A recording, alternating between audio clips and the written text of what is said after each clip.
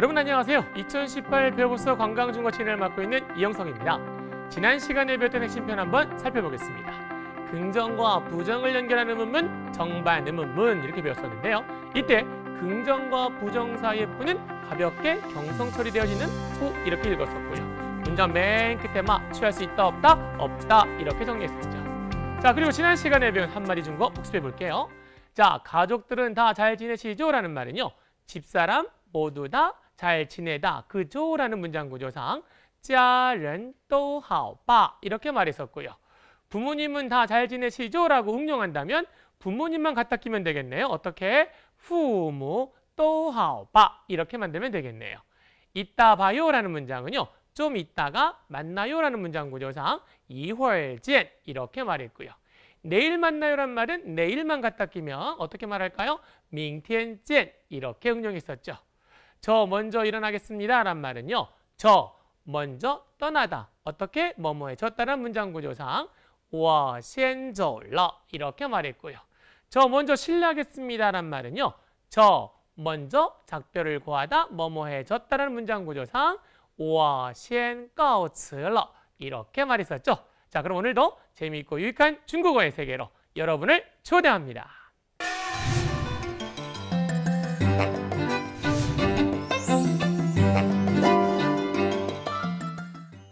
자 그럼 먼저 중국어의 주요 패턴을 바탕으로 몇 개의 소수 단어를 딱딱 갖다 붙이면서 많고 다양한 문장 만들기 중심의 패턴 중국어 시간을 가져보도록 하겠습니다. 오늘 네 번째 시간에는 부정의 표현을 한번 정리해 볼게요. 보통 동작의 부정은 다음과 같이 두 가지로 할 수 있습니다. 동사 앞에 뿔을 붙였을 때 현재 부정이라 그러죠. 뭐뭐하지 않는다 이렇게 받아들이고요. 동사 앞에 may가 왔을 때는 과거 부정처럼 받아들입니다. 뭐뭐하지 않았다 이렇게 받아들이는데요. 예를 들면 오다 라이 안 온다.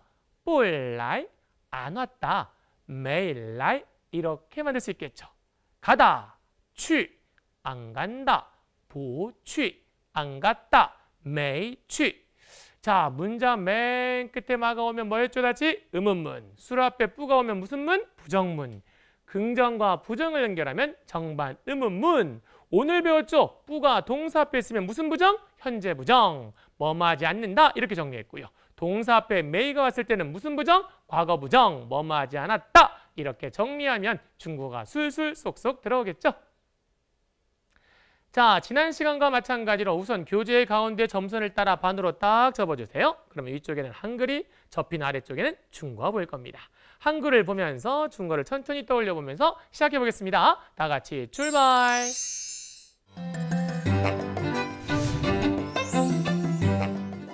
자, 첫 번째 문장입니다. 날, 안 온다. 볼, 날, 안 왔다. 매일, 날, 그는 안 왔다. 타, 매일, 날, 이렇게 단어를 딱딱 갖다 붙이면서 문장을 만들어 보는 연습. 이것이 바로 2018 배워봅서 건강중고의 학습 목표입니다.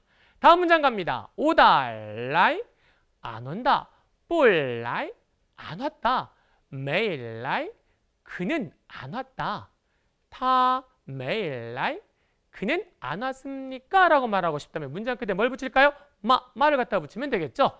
타날 마. 계속 이어서 쭉쭉 달려보겠습니다. 오다 날안 온다. 뿔날 안 왔다. 날 아직 안 왔다. 하이 날 그는 아직 오지 않았습니다란 말은요. 타 하이 매일 날 여기서 부사 하이는 부정문에 쓰였을 때 아직도 여전히 뜻을 지니게 됩니다. 메이가 동사 앞에 쓰이게 되면 뭐뭐 하지 않았다라고 해석하지만 하이 메이가 동사 앞에 쓰였을 때는 아직 뭐뭐 하지 않았다라는 패턴을 만들어 볼 수 있겠죠. 이렇게 단어 하나에 다른 단어를 딱딱 갖다 붙이면서 다양한 문장을 만들어 보는 것이 바로 이영석의 핵심 코크입니다. 다 웃으면서 아하!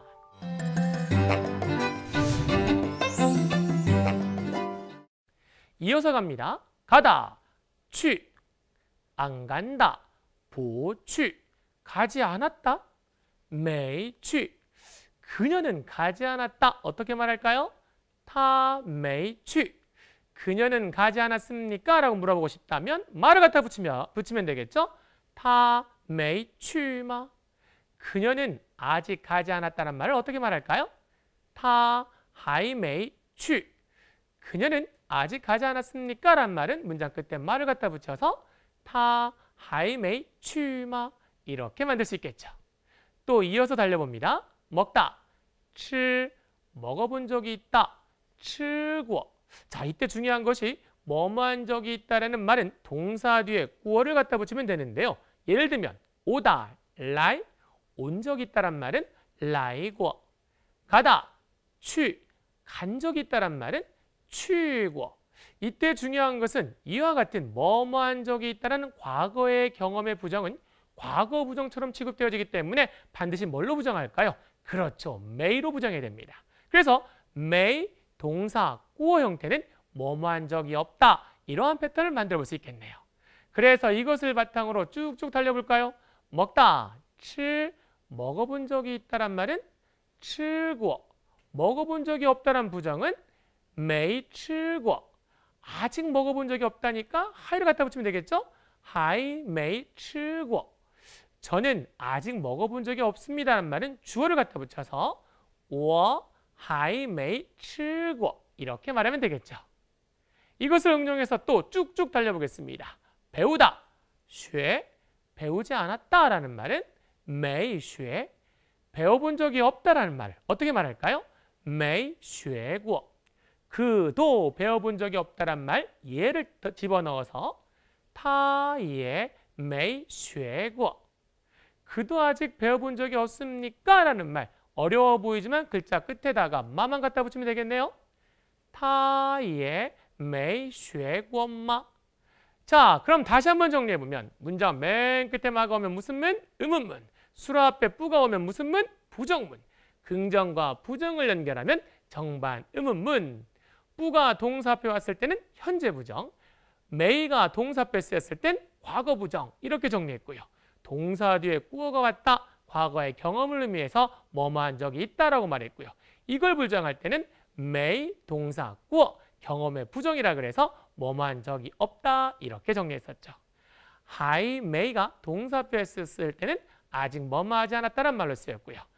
I may 동사 꾸어까지 오게 되면 아직 뭐뭐한 적이 없다 이렇게 단어를 갖다 붙이면서 문장을 만들어 보는 연습 이것이 바로 패턴 중국의 학습 목표입니다. 다 웃으면서 아하!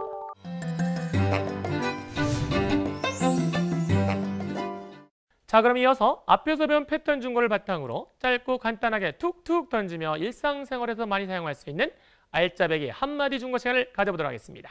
이 시간에는요. 중국어 문장을 어떻게 만들어가는지 그 핵심 포인트만을 살짝 살짝 짚으면서 이해를 돕는 수업을 해볼까 합니다. 그래서 단어의 뜻을 정리하면서 문장 속에서의 그 역할을 이해할 수 있다면 쉽고 오래오래 기억할 수 있을 겁니다. 앞에서 마찬가지로 교재 가운데 점선을 따라 반으로 딱 접어주세요. 그러면 위쪽에는 한글이 접힌 아래쪽에는 중국어가 보일 겁니다. 한글을 보면서 중국어를 천천히 떠올려 보면서 시작해 보겠습니다.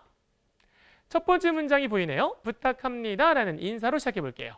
부탁하다란 말은요. 우리말 한자 절, 배자와 맡길, 탁이 만나서 절하면서 맡기다 라는 문장 구조로 받아들이면 by, to라고 이렇게 외워봅시다. 그리고 누구누구에게 부탁하다는 표현은요. By, to라는 동사 뒤에 대상, 사람이 옵니다. 예를 들어 그에게 부탁하다는 말은요. by, to, 타 이렇게 말하고요. 응용해서 당신에게 부탁합니다는 말은요. by, to, 닌 이렇게 말하면 되겠죠. 앞의 표현을 응용해서 다시 부탁할게요 라는 말을 만들어 본다면 부탁하다는 동사 앞에 다시라는 단어만 붙이면 되겠죠. 어떻게? 다시 절하며 맡기다. 누구에게? 당신에게라는 뜻으로 받아들여서 짜이, 파이, 투어, 이렇게 말하면 되겠죠. 다시 또 응용해서 다시 한번 부탁할게요 라는 말은 한 번이라는 말에 주목해서 살펴볼 필요가 있을 거예요. 중국어에서 한 번, 두 번, 세 번, 네 번, 한 차례, 두 차례, 세 차례, 네 차례, 1회, 2회, 3회, 4회라는 동작의 양은 반드시 어디? 동사 뒤에 위치한다. 그 위치가 중요합니다. 그래서 다시 한번 뭐뭐 하다는 패턴을 만들어 본다면 짜이 동사 이츠 이렇게 이해하면서 외워보시기 바랍니다. 예를 들면 다시 한번 말하다란 말은 짜이 슈어 이츠 이렇게 말하면 되고요. 다시 한번 보다란 말을 만들어 본다면 짤칸 이츠 이렇게 말하겠죠. 그래서 다시 한번 부탁할게요 라는 말은 다시 부탁하다. 당신에게 어떻게 한 번이라는 문장 구조로 짤 빠이 투어 닌 이츠 이렇게 만들어가면 되겠죠. 다 같이 웃으면서 아하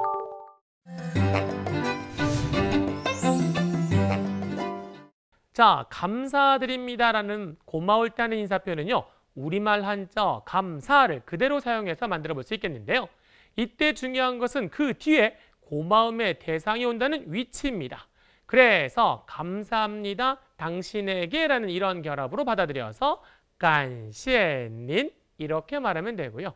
그리고 감사의 표현을 좀 더 오버하면서 말하고 싶다면 그 앞에 정도를 의미하는 아주 대단이라는 단어에 회의장을 넣으면 아주 멋진 문장을 만들 수가 있어요. 아주 대단히 감사합니다. 누구에게? 당신에게라는 결합으로 받아들여서 회의장 간시에닌 이렇게 만들 수 있겠죠. 다시 이것을 응용해서 다시 한번 감사드립니다라는 인사표현을 만든다면 다시 한번 앞에서는 다르게 우리말 한자 제차를 사용해서 그 앞에 딱 갖다 붙이면 됩니다. 어떻게? 제차 감사합니다. 누구에게? 당신에게. 이러한 결합으로 받아들여서 만들어 본다면 짜이츠 간셰닌 이렇게 단어를 딱딱 갖다 붙여서 멋진 표현을 만들어 보시기 바랍니다. 다 웃으면서 아하!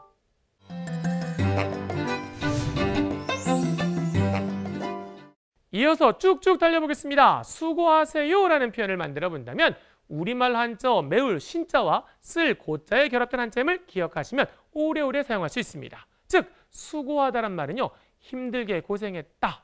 그 맛은 맵고 쓰다. 이렇게 말이죠. 이것을 중고로 읽어본다면 싱쿠 이렇게 말합니다. 그런데 수고하세요라는 말은 문장 끝에 뭐뭐 하세요라는 청유 문장으로 받아들여서 문장 끝에다 뭘 붙이면 될까요? 바, 발을 붙이면 되겠죠. 어떻게? 이렇게 말이죠. 당신 수고하다 뭐뭐 하세요라는 결합으로 받아들여서 닌 싱쿠바 그런데 만약 어떤 동작이 끝나서 수고하셨습니다라고 말하고 싶다면 어떻게 할까요? 그렇죠. 문장 맨 끝에 뭐뭐 했다는 완료에 러만 갖다 붙이면 됩니다. 그래서 당신 수고하다 했다라는 문장 구조로 받아들인다면 닌, 신, 쿨러 이렇게 말이죠. 다시 여기다가 또 수고 많으셨습니다라는 말을 하고 싶다면 어떠한 동작이 과거에서부터 반복되어 나타날 때 사용할 수 있는 패턴이 요, 셔머셔멀러 이러한 패턴을 사용할 수 있습니다. 그래서 분석해 본다면 또 수고하다 했다라는 문장 구조로 받아들인다면 요, 싱쿨러 이렇게 단어만 딱딱 바꿔 끼면서 여러 가지 다양한 표현을 만들 수 있겠네요. 다 같이 웃으면서 아하!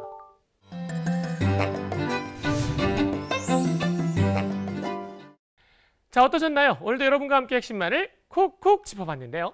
마지막에 배웠던 한마디 중국어 부분으로 돌아가서 점선을 따라 다시 반을 접어서 한글을 보면서 같이 표현을 살짝살짝 떠올려 보겠습니다. 자, 첫 번째 부탁합니다라는 문장은요. 절하면서 맡기다, 즉 부탁하다는 동사 떠올리고요. 그 뒤에 대상, 당신에게라는 결합이었을 겁니다. 어떻게? by, 투어 님 이렇게 말했고요. 다시 부탁할게요라는 말은요. 다시라는 말을 그 앞에 붙여서 어떻게 말할까요? 再, 拜, 托您 이렇게 말하면 되겠죠. 다시 한번 부탁할게요라는 말은요. 다시 부탁하다. 누구에게? 당신에게. 이때 중요하죠? 한 번의 위치가 중요할 겁니다. 어떻게 말했나요? 再, 拜, 托您 一次 이렇게 말했었죠. 감사드립니다 말은요. 감사하다. 당신에게라는 문장 구조로 어떻게 말했나요? 感谢您 이렇게 말했고요. 대단히 감사드린단 말은요. 그 앞에다가 아주 대단히라는 표현을 갖다 붙이면 되겠네요. 어떻게? 非常感谢님 이렇게 말했죠. 이걸 응용해서 다시 한번 감사드립니다는 말은요. 재차 다시란 말을 앞에 갖다 붙여서 어떻게? 再次感谢님 이렇게 말했었죠. 자, 수고하세요란 말은요. 당신 어떻게 맺고 쓰다 이 말을 수고하다라는 말로 받아들여서 문장 끝에 뭐뭐 하세요라는 말 갖다 붙여야 되겠죠? 어떻게? 닌, 싱, 후 바 이렇게 말했고요. 수고하셨습니다라는 말은 문장 끝에다가 뭐뭐 했다라는 러를 갖다 붙여서 닌, 칭, 훌러 이렇게 말했죠. 또 수고 많으셨습니다라는 문장은 또 뭐뭐 했다라는 패턴을 기억하시면서 어떻게 말했었나요? 귀여싱쿨러 이렇게 정리했었죠? 자 그럼 여러분 다음 시간에도 웃으면서 만나요. 자 이쯤!